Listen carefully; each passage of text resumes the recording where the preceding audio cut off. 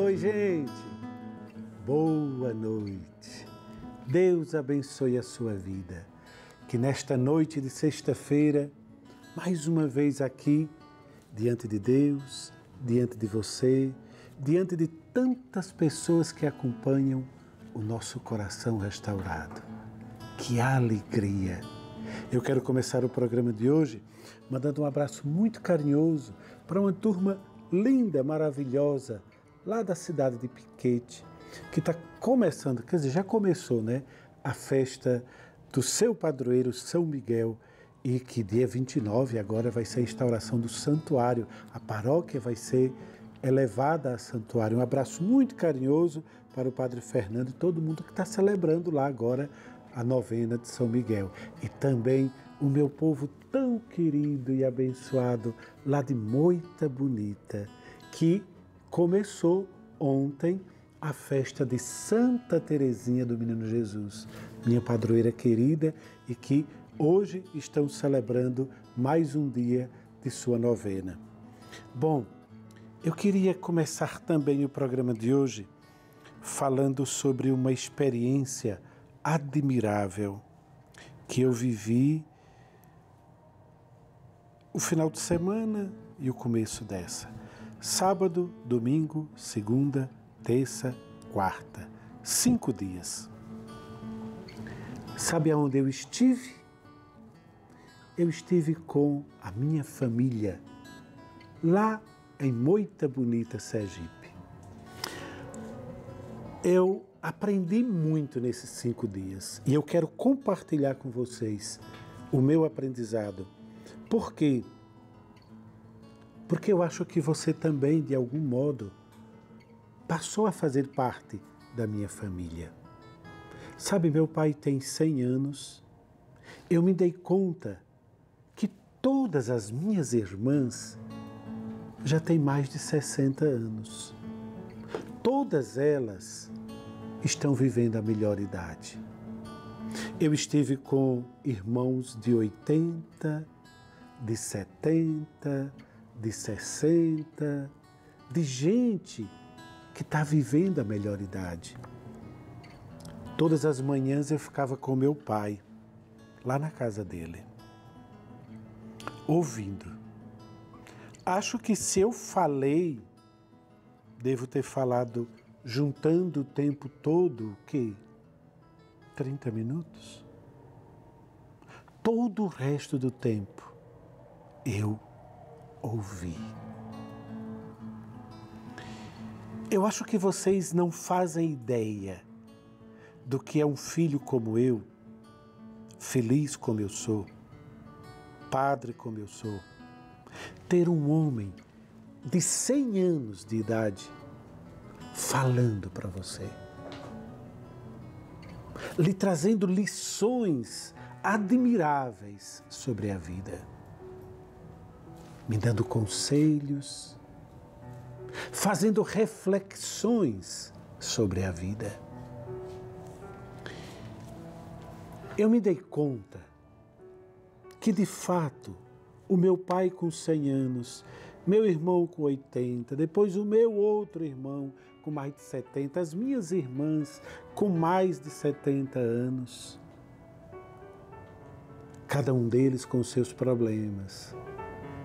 Uma irmã com o joelho arrebentado, a outra com a mão quebrada, a outra com problema na mácula ocular, a outra com problema nas pernas.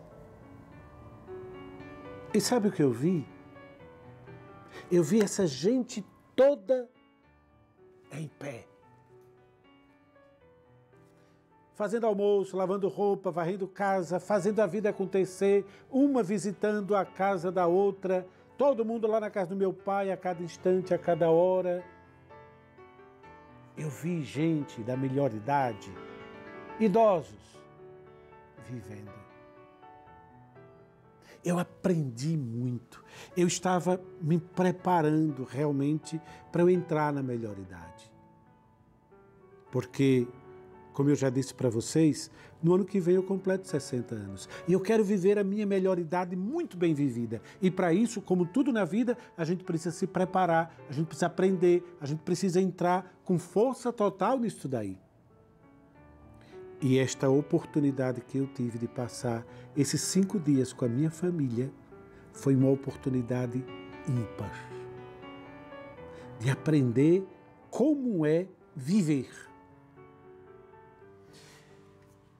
Você que é idoso, você que é idosa, você que tem 70, 80, 90 anos, por favor, acredite. Você tem muito, mas você tem muito, muito a ensinar.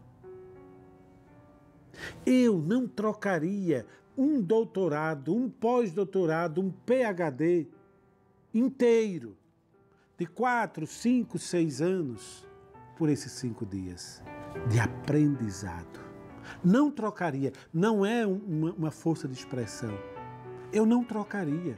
E olha, eu sou professor universitário, sou pesquisador. Eu não trocaria a experiência que eu vivi nestes dias por um pós-doutorado. Por quê? Porque só quem viveu, só quem vive, só quem está fazendo a vida acontecer é capaz de oferecer a nós e ao mundo aquilo que estas pessoas que decidem viver estão nos dizendo estão nos ensinando. Então você, por favor, não guarde para si a pujança que você tem não guarde para si os sonhos que você tem, os ideais que você tem, a força que você tem, os desejos que você tem. Compartilhe com os outros. Agradeça, lute, batalhe, chore. Eu vi minhas irmãs chorarem e sorrirem. Por quê? Porque a vida é assim. Não para de acreditar não para de sonhar, não para de viver. Eu peço a Deus de hoje em diante, todos os dias de minha vida, de viver como as minhas irmãs, de viver como meu pai. Cabeça erguida, mesmo que as pernas estejam quebradas, coração pulsando, mesmo se a gente está ao quebrado. Porque porque a vida é muito mais que o corpo. Porque a vida é muito mais que coisas. Porque a vida é muito mais do que sofrimento ou bem-estar. A vida é a gente poder ter com quem compartilhar a experiência que a gente está vivendo naquele exato momento da existência. Então, por favor, meu querido velhinho, minha querida velhinha, desiste não. Por favor.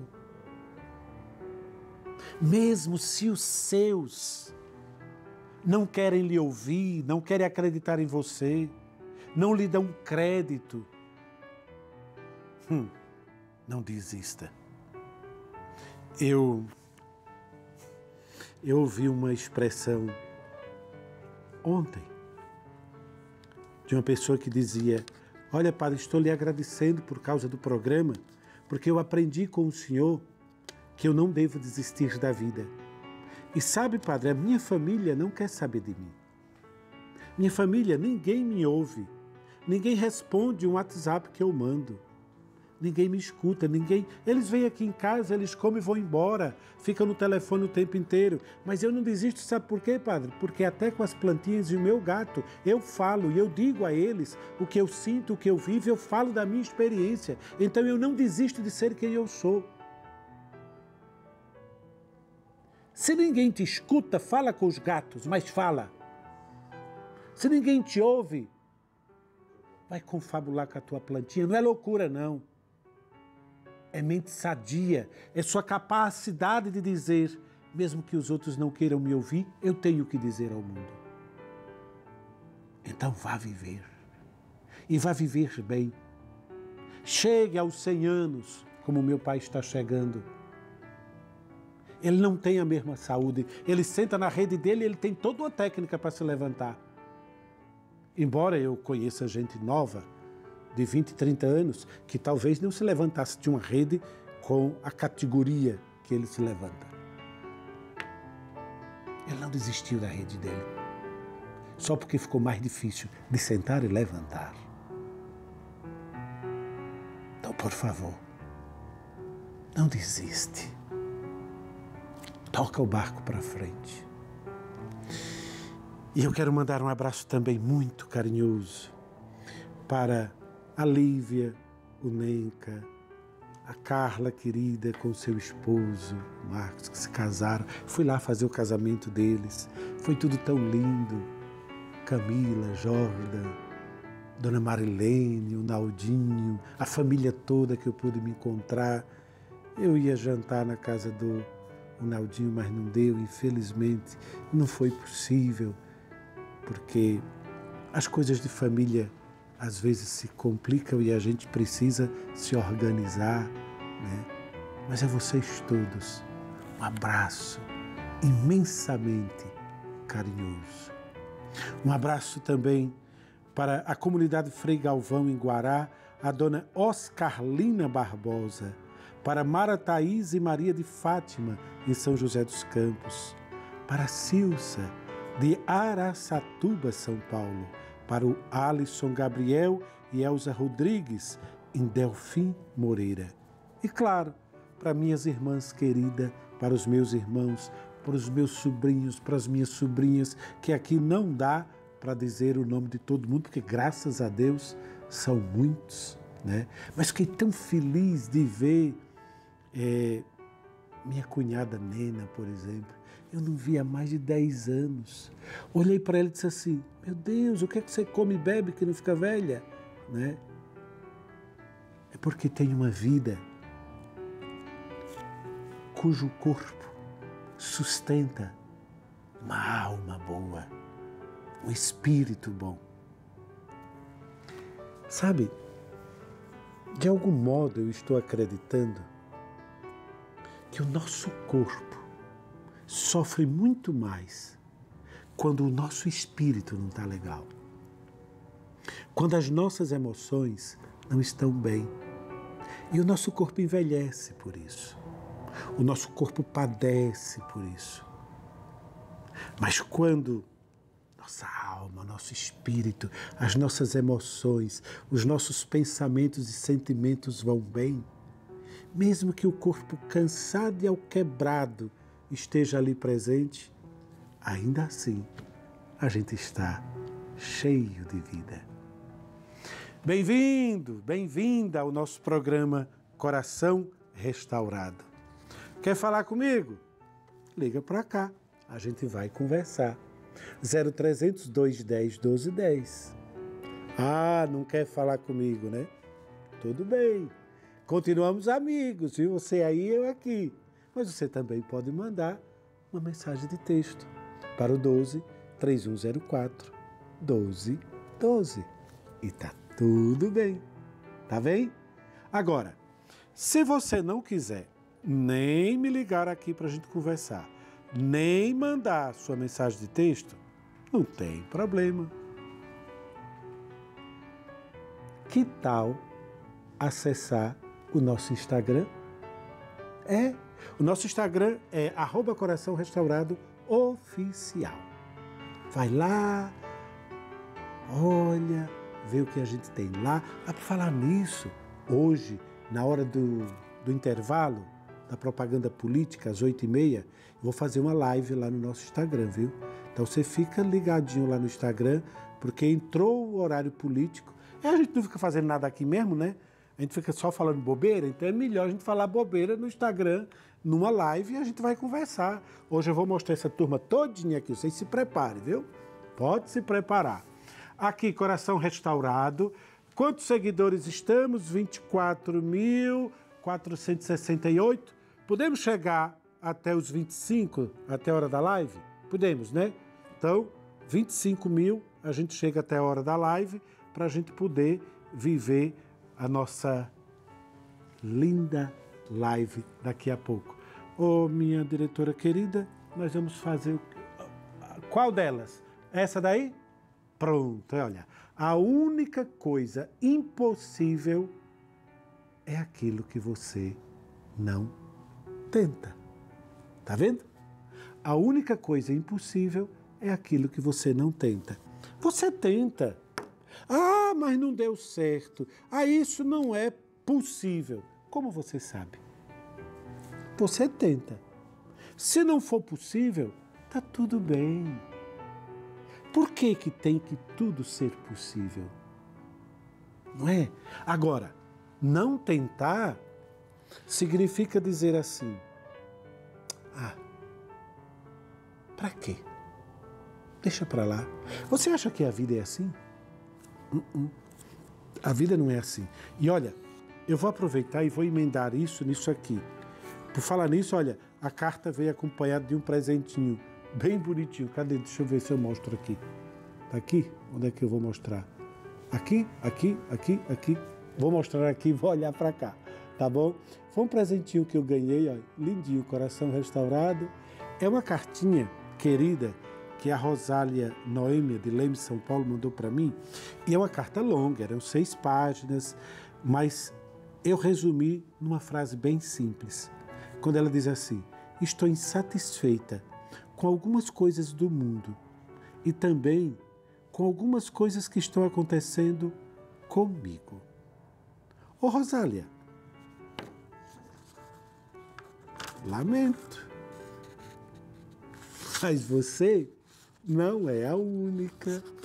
Eu também estou muito insatisfeito com um bocado de coisa que está acontecendo no mundo e também até com algumas coisas que acontecem comigo. Eu, por exemplo, gostaria de ter talvez um tempo diferente. Gostaria de ter menos preocupações com aquilo com aquilo outro. Gostaria de poder responder a todo mundo que entra em contato comigo. Gostaria de ter dado atenção a todo mundo que eu não consigo dar. Olha, minha querida, sabe, a insatisfação e às vezes até a indignação é isso que faz a roda girar. Então, por favor, não se contente. Se a gente se contenta e acha que está tudo bem, a gente se acomoda. A água parada cria limo, apodrece, fica ruim, perde oxigênio. Então continue se indignando. Continue não gostando de uma série de coisas que acontecem no mundo.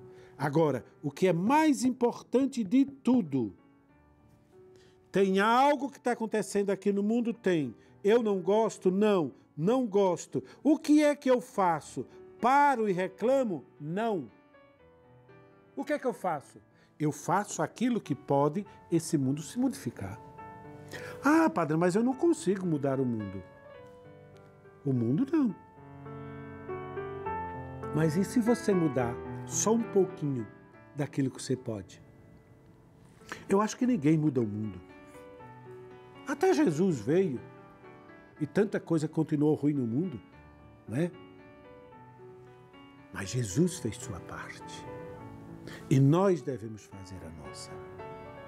Nós precisamos transformar esse mundo por aquilo que cada um de nós vive na sua existência. Eu não me contento com esse mundo nunca. E todos os dias eu estou aprendendo a lidar com ele. Você também não se contente com esse mundo. Porque se contentar com esse mundo quer dizer eu concordo com ele. Ora, tem muita coisa maravilhosa no mundo. Meu Deus do céu, todo dia quando eu acordo, primeira coisa que eu faço, acordo, vou no banheiro, lavo meu rosto e tal, eu abro a janela do meu quarto, tem uma janela grande do meu quarto, e aí eu vejo aquele sol bonito, ou aquela manhã chuvosa, seja como for, e eu digo, que maravilha! O dia amanheceu, eu estou vivo, eu estou aqui eu digo obrigado, Senhor. Que coisa boa eu estou aqui. Olha, às vezes é um dia cheio de coisa para fazer.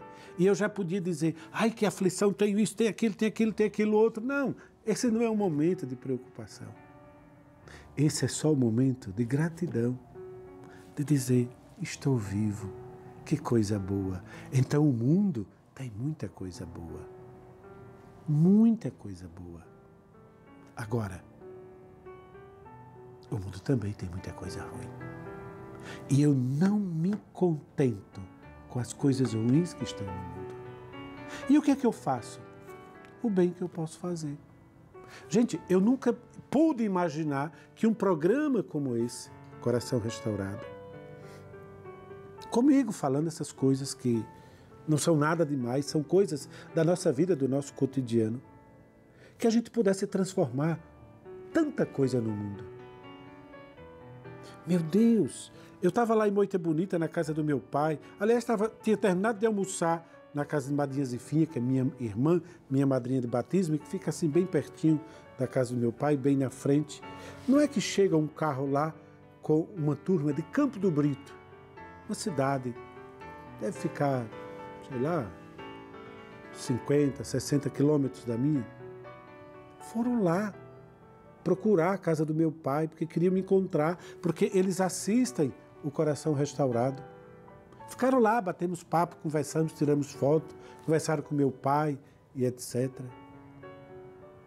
Eles diziam o quanto esse programa transformou a vida deles e o quanto isso foi bom para eles. As pessoas, elas saem de longe, elas vão lá no Santa Cabeça, no, no Santuário Santa Cabeça, me encontrar no sábado e domingo. Elas vão lá, de longe. Quando eu digo de longe, é assim, é do Pará, é de Curitiba, é do é gente de longe e que vai lá, meu Deus, para se encontrar, para a gente sentar e bater papo. Bom, se eu posso fazer isso, você já pensou tudo que você pode fazer sentado aí na calçada de sua casa, com os seus vizinhos, com as suas vizinhas? Por quê? Porque eu não sou diferente de você. Olha, eu não tenho nada de extraordinário aqui. Quem está aqui sabe o que, é que eu tenho de extraordinário. Pelo amor de Deus. Não tem nada de extraordinário. É porque o senhor é bom, o senhor é paciencioso. Eu não sou paciencioso. Bom, eu sou. Eu não guardo nenhuma raiva, nenhum ódio, nada no meu coração. Mas você, você também guarda? E se guarda, tira fora. Por que, você não pode ser alguém que faz a diferença na calçada de sua casa? Puxa vida, põe uma cadeira lá. Bom, se é possível, né? Se é violento, não põe, né? Mas senta lá, conversa com o teu vizinho, com a tua vizinha. Seja bom para eles. Esses dias que passei em casa, vi tanto carinho, tanto carinho, tanto afeto, tanto cuidado, tanto zelo. A minha família faz muito isso cuidando da gente com comida. Então a gente compartilha tudo comendo. Vocês nunca vão entender o que isso significa, né? Porque só quem, quem vive ali sabe. Mas, por exemplo, estava lá na casa da minha outra irmã, sentado na rede, conversando. Daqui a pouco aparece um, um beiju de tapioca com leite de coco. Vocês não sabem o que é isso, né? Não deve saber. Quem é lá de Moita Bonita deve saber. Quem fez? Minha irmã. Foi lá, minha sobrinha foi lá levar. Eu comi aquilo, disse, gente do céu, ai que delícia. Carinho, amor, afeto, atenção. Sentar e conversar até a gente perder a hora. É isso. Chorar quando a gente se emociona contar as nossas histórias, os nossos sofrimentos, as nossas dores e chorar por isso, lamentar por isso. Minha irmã perdeu um filho tragicamente no acidente. A minha outra quase perde o seu filho tragicamente também. Uma viu seu filho ser enterrado, a outra está com seu filho em recuperação. Eles estão vivas. Foi fácil? Não, elas choram, choram por isso, sofrem, sofrem por isso, mas nem por isso elas deixam de ter amor, carinho, afeto e atenção. Choramos juntos e está ótimo, está tudo bem. Viva a vida, pelo amor de Deus. Viva a vida. Não deixe de viver, mesmo que seja difícil. Ô, gente, vamos ligar para cá que está na hora, né? Pelo amor de Deus. Eu vou conversar agora com o João. Alô, João! Boa noite, Padre Pedro. Boa, Boa noite, meu querido. Oh, coisa boa. João, desculpe tê-lo feito esperar tanto, meu irmão. Tudo né? bem. E aí, o que é que você me conta? Fala para mim. Eu, eu, eu, gosto muito de ouvir o senhor. O senhor, pessoa que transmite muita esperança, otimismo. Obrigado. Estou, estou muito emocionado. Além disso, eu tenho mal de Parkinson. Estou ah. muito tremendo de emoção, de frio e por causa do parto. Oh, meu Deus, João. Olha, eu, eu agradeço muito, meu irmão. Fico feliz por você ligar aqui, esperar tanto tempo. O João está desde o intervalo esperando é, para ser atendido. Muito obrigado, João.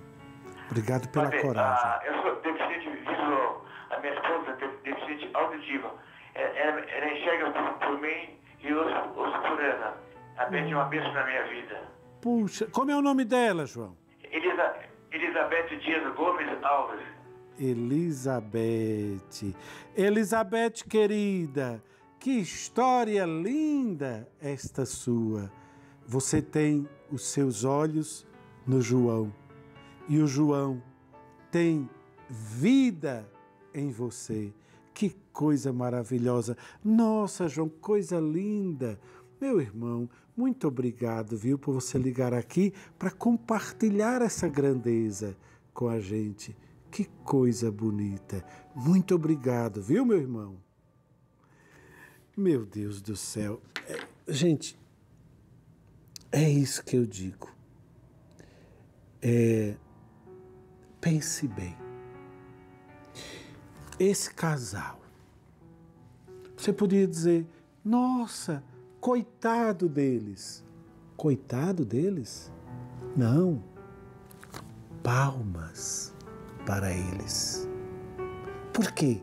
Porque eles estão vivendo a vida a partir das condições que a vida ofereceu para eles. Elizabeth não enxerga. Mas quem são os olhos da Elizabeth? O João. Você já pensou o que é para uma pessoa que não enxerga ter alguém que seja os seus olhos?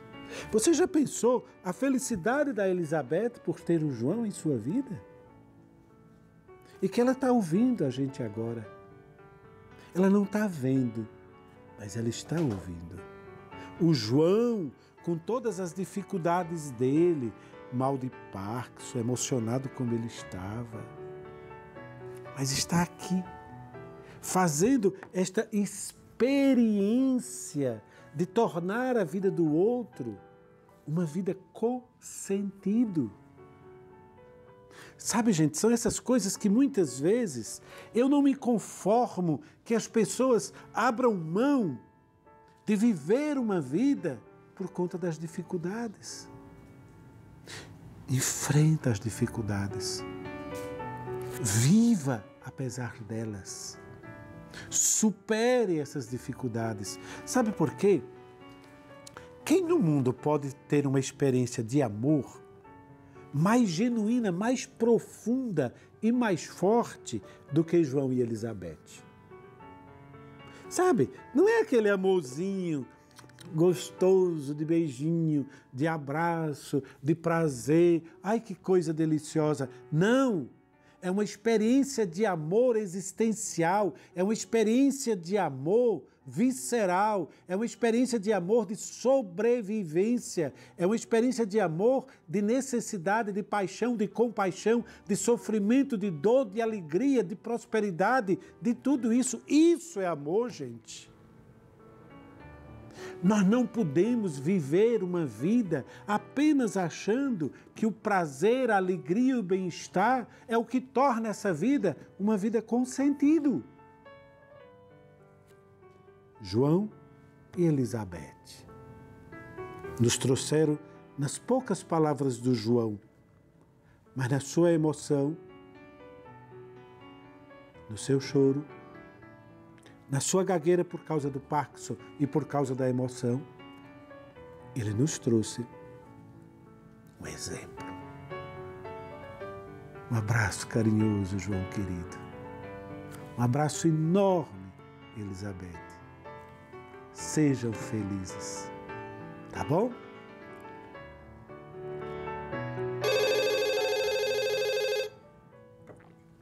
E agora eu vou falar com Valdemar. Não é Valdemar. Como que é mesmo? É Odemar. Ah! Meu querido, desculpa, errei seu nome, coisa feia, né? Você perdoa? E aí, meu querido, como é que você tá? Me conta, me fala. O que é que você tem para me dizer? Então, tudo bem, graças a Deus, padre. Padre, eu, eu sou viúvo faz oito anos já. Uhum. E a minha filha é totalmente contra a minha, minha segunda união. Hum. E tirou até, minha, tirou até minha neta, eu vi minha neta. Faz três anos já que eu não vejo a minha neta. E eu tenho, estou me relacionando com uma, uma viúva também, né? Sim. E minha filha é totalmente contra. Oxente, mas que negócio é esse, hein? Olha, deixa eu te dizer uma coisa. Se você gosta desta viúva, se esta viúva gosta de você, se vocês dois se amam, você chega para sua filha e diz para ela assim: Filha querida, eu te amo de todo o meu coração. E o meu amor por você nunca vai mudar. O lugar de sua mãe nunca será ocupado. Você sempre será o amor da minha vida, como sua mãe foi. Mas agora, filha querida, deixa-me viver. Deixa-me amar um pouco mais. Permita que este velho aqui possa viver o resto dos seus dias ao lado de uma pessoa que ama, que gosta. Filha querida, me deixa ser feliz. Faz isso, mesmo que ela não te ouça, mesmo que ela não queira saber. Não deixe de viver a sua vida por causa dela. Não deixe. Porque se fosse o contrário, eu diria a ela a mesma coisa que estou dizendo ao Senhor. E você, filha querida, por que que você não quer? Você acha que outra pessoa vai ocupar o lugar de sua mãe? Não vai. Você acha que outra pessoa vai enganar o seu pai? Fica perto, acompanha. Não largue o seu pai. Filha querida, deixa eu te contar uma coisa. Você está cometendo um erro, mas um erro tão grande em sua vida de não permitir que sua família, seus filhos, suas filhas, tenham contato com o seu vô que no caso é seu pai. Você não faz ideia do prejuízo que você está causando a essa criança. Por favor, não faz isso. Você não precisa. Eu sei. Talvez você esteja com medo, né? Talvez você esteja receosa de que essa mulher engane o seu pai, de que ela tenha outros interesses, que ela venha ocupar o lugar de sua mãe, que você já não tenha o mesmo espaço. Mas veja, você está estragando tudo, filha. Veja, você está com medo desta mulher ocupar o seu lugar na família, mas você se excluiu da família. Você se afastou do seu pai, você afastou sua filha do seu pai, sua família está sendo privada da presença do seu pai e ainda assim você não quer que o seu pai se relacione com outra pessoa. Você, em sã consciência, acha que o seu pai não tem direito a isso, é isso mesmo? De onde vem essa dor, minha filha? Procure o seu pai. Procura. Pede perdão a ele e diz: Pai, eu estou com medo. Pai, eu estou sofrida. Mas fica do lado dele. Fica do lado dele. Vai conhecer essa viúva, vai saber quem ela é, vai saber se ela é gente boa. Se ela for, vai fazer tão bem para o seu pai. Se ela não for, você vai estar ali perto, cuidando do seu pai. Você vai saber o que fazer. Fica longe dele não, tá? Chega perto. Tá bom? É isso daí. Oba! Agora eu vou conversar com a Maria. Alô, Maria?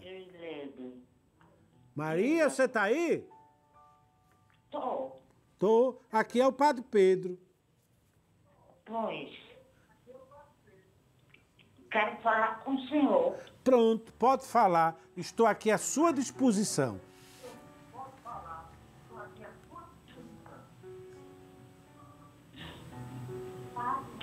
Peraí, Padre Pedro. Espero, fique tranquila. Calma e serenidade. Ai.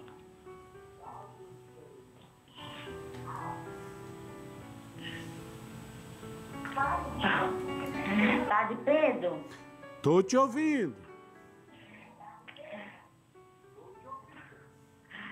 é o seguinte. Desde que eu me mudei para essa casa, para esse apartamento, eu vivo levando queda. Já vou com 14 quedas. Crê em Deus Pai A mesmo. última deu essa, deu aqui.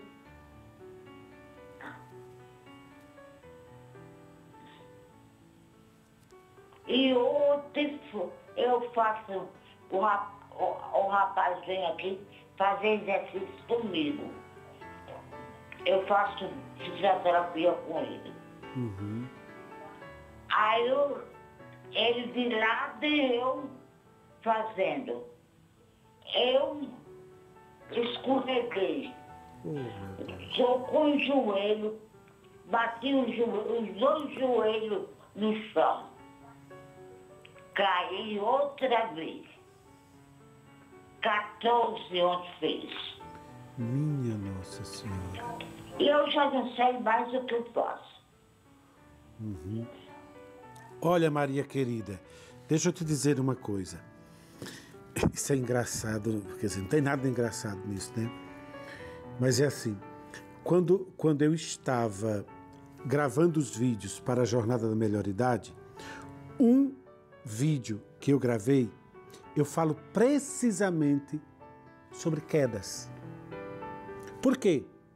Porque na melhor idade ou na velhice, não tem problema nenhum da gente dizer que eu estou idoso, que eu estou velho e etc. Não, é a nossa velhice, é a nossa vida, vamos enfrentar. Na nossa velhice, cuidado com as quedas. Por quê? Porque as quedas passam a fazer parte da vida do idoso. Por quê? Porque o corpo do idoso se modifica mas às vezes a cabeça não acompanha essa modificação. Às vezes a cabeça quer que a gente tenha uma velocidade que o corpo não tem mais.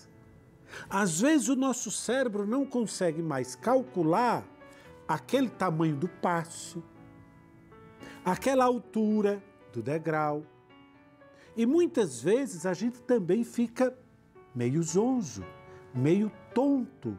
Então a gente precisa, na nossa vida de idoso, de preparar o ambiente. Falei lá na Jornada da Melhor Idade inúmeras vezes isso. Prepare o ambiente onde você vai viver.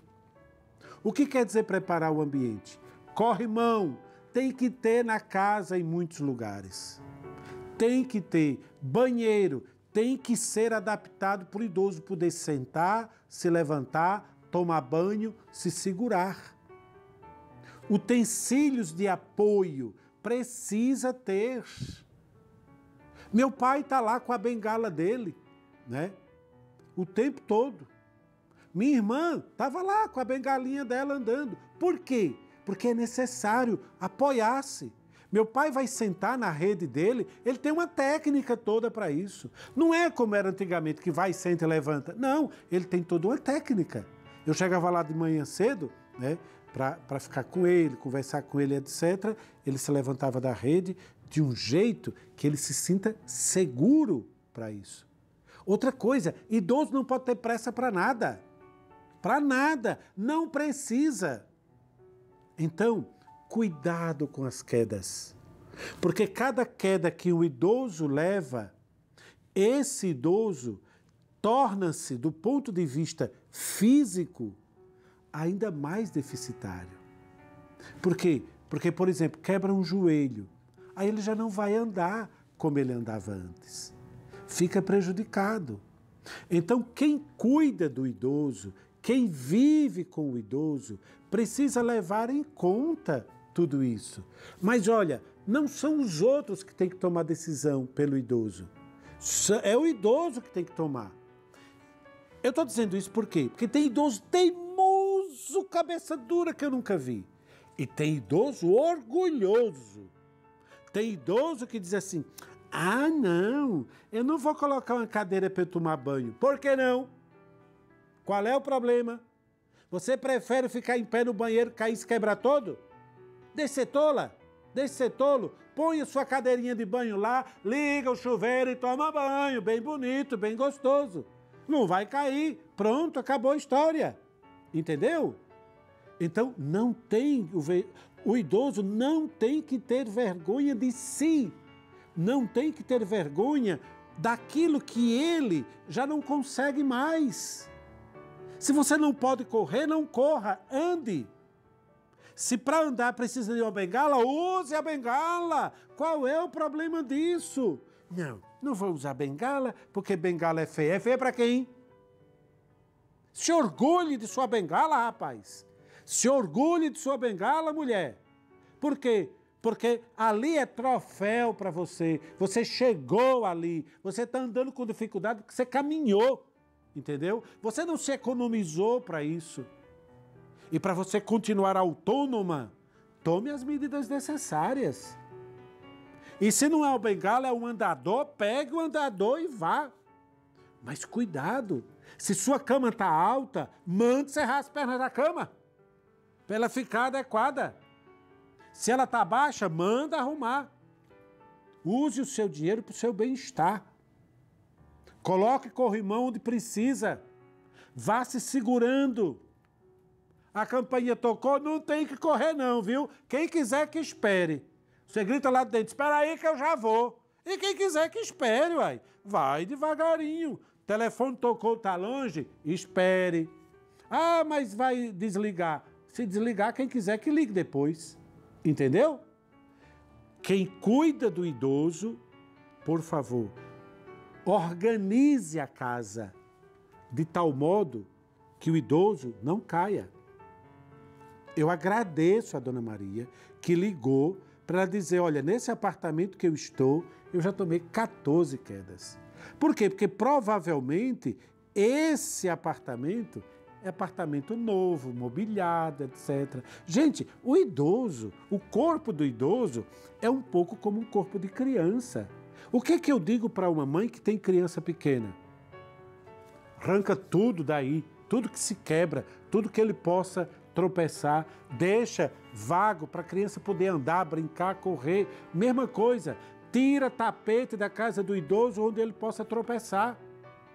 Não deixa. Por quê? Porque ele vai tropeçar? Vai. Entendeu? Tira móvel pontiagudo que ele vai bater as canelas e deixar roxo. Arruma, arruma um ambiente para que ele possa viver. Eu estou dizendo isso, mas olha, quando eu montei a Jornada da Melhor Idade, está lá no site padrepedrocunha.com.br, eu me dediquei a isso para quê? Para convencer o idoso de que ele precisa tomar cuidado de si e deixar de ser cabeça dura. Porque tem idoso cabeça dura. Por exemplo, lá eu digo: você que não gosta de tomar banho, precisa tomar banho. Por quê? Você não toma banho, fica tudo áspera, fica tudo coçando. Tem que tomar banho, tem que passar um cremezinho. Então eu vou insistindo nessas coisas. Presta atenção. Você pode estar idoso, mas a responsabilidade da vida continua sendo sua, não é dos outros. Então, para de reagir contra a velhice. Enfrenta a velhice e vai viver a velhice. Vai viver com gosto, vai viver com alegria, né? E pronto. Combinado?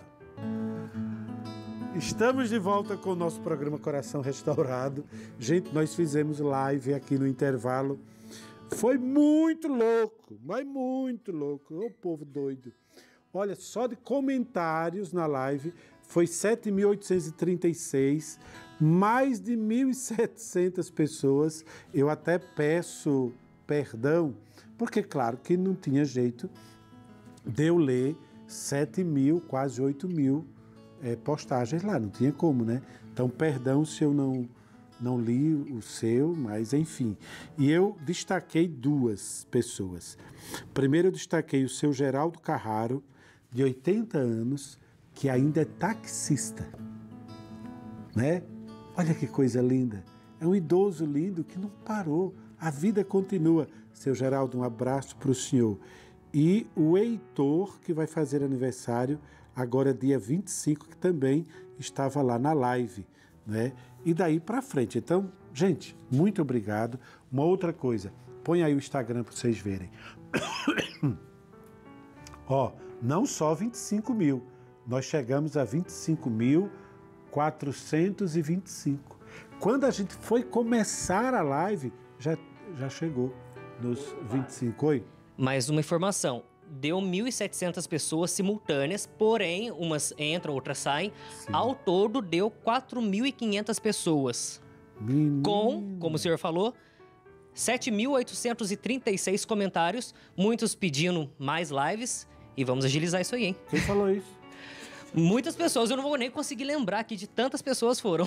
Esse negócio fica gravado lá? Depois? Fica, tá gravado, já tá no Instagram. Jesus, é só acessar a nossa página lá, no Coração Restaurado Oficial. E a live já vai estar tá lá, para você ver esse papo gostoso que tivemos com o padre nesse intervalo. Gente, isso é uma doideira, não? Enfim, a gente faz qualquer coisa. Então, a gente é realmente uma família, né? A gente está vivendo uma experiência aqui no Coração Restaurado da gente se transformando numa grande família. A gente é uma grande família aqui entre a gente, ali ao povo louco lá falando. A gente aqui entre nós, a gente é uma grande família, porque é mesmo todo. Isso, esse povo aqui tudo muda, né? Cada dia é, é um grupo. Mas a gente se gosta muito, a gente se ama muito, a gente se respeita muito, a gente se diverte muito aqui, né? E eles também participam do programa, porque quando eu estou emocionado, eles se emocionam.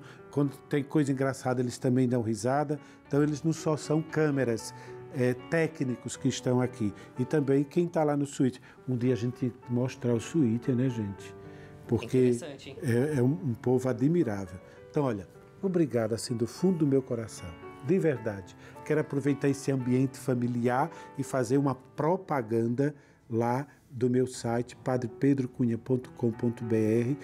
Visita o site. Lá tem uma coisa muito legal que é a jornada para a melhor idade. Eu trabalhei dois anos preparando isso. É um presentaço, eu acho, não só para o idoso, mas para quem cuida dos idosos. Os filhos, cuidadores de idosos, os netos, enfim, para todo mundo que quiser participar. Entra lá. E tem uma novidade lá que é eu vou fazer pessoalmente, porque essa, a primeira jornada da melhor idade, essa daqui tá vendo online, né?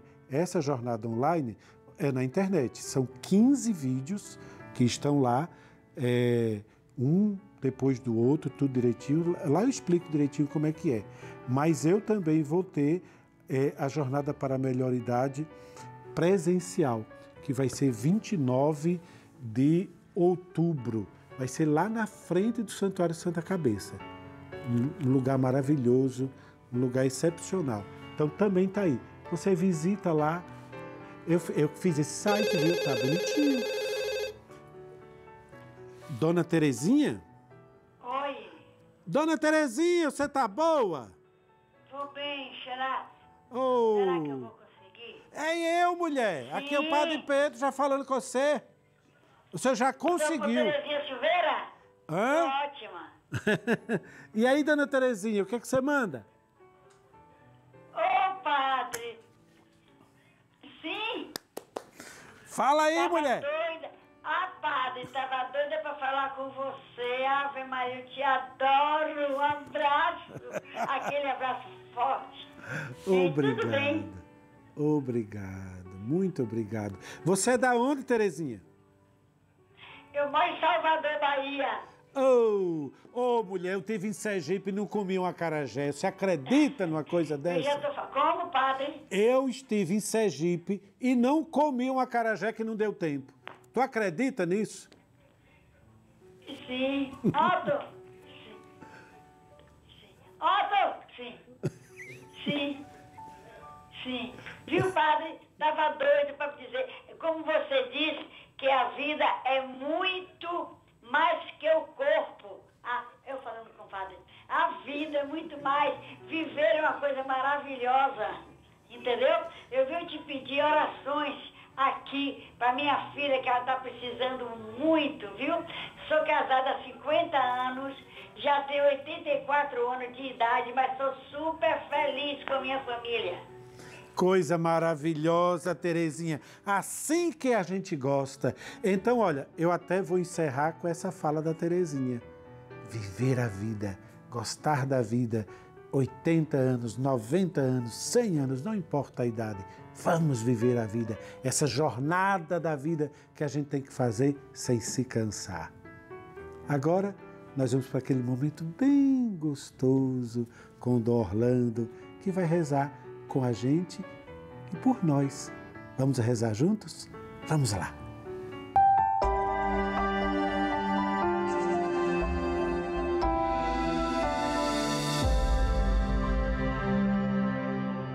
Querido irmão, querida irmã, agora convido a você para juntos fazermos uma oração, uma oração de cura para que os nossos corações sejam restaurados pela força da oração e da fé.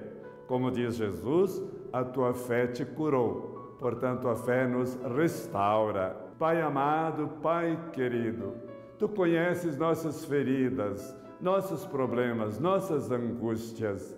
Derramai sobre nossos corações feridos, machucados, de filhos e filhas que te suplicam a restauração, a cura, a melhora, a recuperação. Sim, Pai, lavai nossos corações com o sangue de teu Filho Jesus. No seu sangue nós somos curados. Pai, te agradecemos porque teu Filho Jesus nos deu esta certeza. A tua fé te curou, a tua fé te curou, a tua fé te curou. Querido Jesus, como curastes tantas pessoas no teu ministério nessa terra, curai agora, curai hoje as pessoas que te suplicam por esta restauração de suas vidas. Pai amado, não precisamos te informar das dores dos teus filhos, tu as conheces. Acolhei os seus gritos, suas súplicas e derramai então bênçãos e graças e possamos nos sentir todos melhor, melhor, melhor, cada vez melhor. Pedimos, Pai Santo, que cada um de nós em nossos corações tenhamos paz, paz, paz, muita paz. Principalmente pedimos, pela intercessão de Maria, que todos tenhamos luz, luz, luz, mais luz, toda luz e sejamos iluminados. Pedimos, Senhor, pela força da tua palavra, pela força dos sacramentos, pela força do perdão, que possamos também em nossos corações expulsar o medo, expulsar a angústia, expulsar a ansiedade, expulsar preocupações e nos sintamos revigorados. E como nos diz a tua santa palavra, que sempre possamos repetir: consolai, consolai, consolai, consolai o teu povo, Senhor. E assim, certo de que a bondade do Pai se manifesta agora na sua cura melhor e recuperação, eu abençoo a você e a todos os que nos veem e ouvem, em nome do Pai, do Filho, do Espírito Santo. E um grande abraço a todos vocês, um abraço de cura, um abraço de recuperação, um abraço de restauração. Obrigado, Dom Orlando, do fundo do meu coração, por sua prece, sua oração para nós todos. Olha, na próxima semana, o nosso programa já não vai ter é, a propaganda política obrigatória, porque já encerrou. Encerra na quinta. Então, nós estaremos aqui ao vivo, sexta-feira, tempo integral, das 19h30 até as 21h15. Eu e você aí na sua casa. Obrigado, viu? Muito obrigado do fundo do meu coração pela sua audiência, pela sua participação, pela sua presença aqui no nosso programa. Que lá do alto dos céus, pela intercessão de Nossa Senhora, verdadeiramente as bênçãos de Deus repouse sobre você, no nome do Pai, do Filho e do Espírito Santo. Amém. Até sexta. Tchau.